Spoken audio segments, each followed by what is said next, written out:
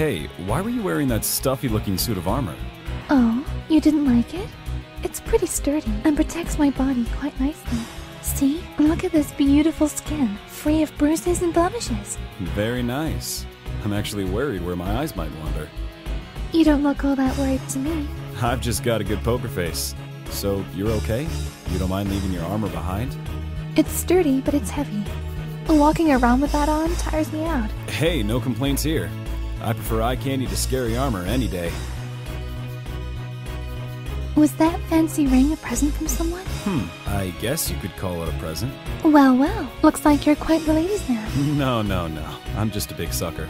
Oh? It's amazing enough the ring holds power, but it even reacts to air and becomes stronger.